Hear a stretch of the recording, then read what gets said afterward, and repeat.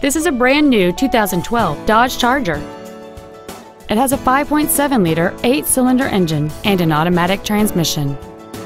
Its top features include heated front seats, a low tire pressure indicator, traction control and stability control systems, high intensity headlights, and satellite radio. The following features are also included heater vents for rear seat passengers, heated side view mirrors, a keyless entry system, a leather wrapped steering wheel, performance tires, an engine immobilizer theft deterrent system, an illuminated driver's side vanity mirror, an anti-lock braking system, fog lamps, and cruise control. This vehicle is sure to sell fast. Call and arrange your test drive today.